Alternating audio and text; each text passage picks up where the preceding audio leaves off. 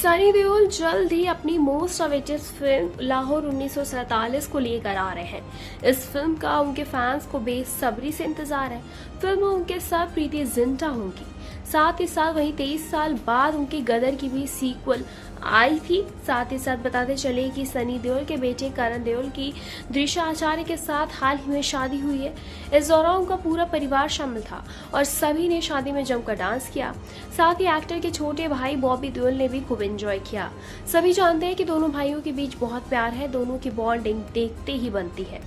जैसा कि सभी जानते हैं कि सिल्वर स्क्रीन पर सनी देओल अपने एंग्री यंग मैन वाले अंदाज के लिए जाने जाते हैं। हालाँकि असल ज़िंदगी में वो काफ़ी शांत किस्म के व्यक्ति हैं।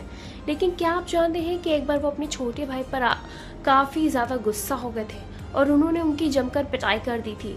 जी हाँ शांत से देखने वाले सनी देओल ने बॉबी को एक बार खूब मारा था। साथ ही साथ बताते चले कि सनी देओल, बॉबी देओल ने कई फ़िल्मों में एक साथ काम किया है। इन फ़िल्मों में से एक फ़िल्म यमुना पगला दीवाना भी है। इस फ़िल्म में धर्मेंद्र भी नज़र आए। फ़िल्म के दो पार्ट्स हैं।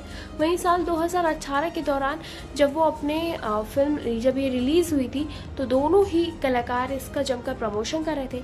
इसी बीच एक रिपोर्टर ने सनी देओल से सवाल किया कि क्या आपने कभी अपने छोटे भाई बॉबी देओल की पिटाई की है? इस पर एक्टर ने बताया कि बॉबी मुझसे बहुत छोटे हैं। उन पर हाथ उठाने का ख्याल भी कभी नहीं आया। वो मेरे लिए मेरे बेटे की तरह है। हालाँकि बिल्कुल यही सवाल बॉबी देओल से भी पूछा गया। इस पर बॉबी ने खुलासा करते हुए कहा कि एक बार ट्यूशन टीचर ने मेरी पढ़ाई को लेकर भैया से शिकायत कर दी।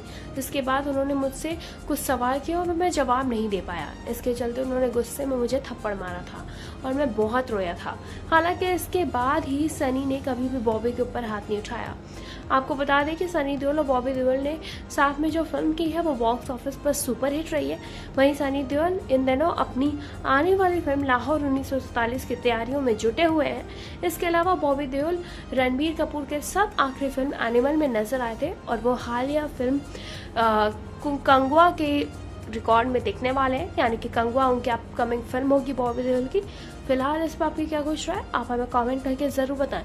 ऐसी तमाम लेटेस्ट खबरों को जाने के लिए जुड़े हमारे साथ और देखते रहें नेक्स्ट लाइव